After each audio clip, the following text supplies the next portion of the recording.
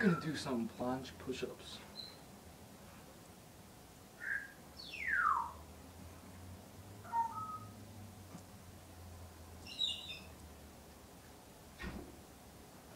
That's all I got for now, though.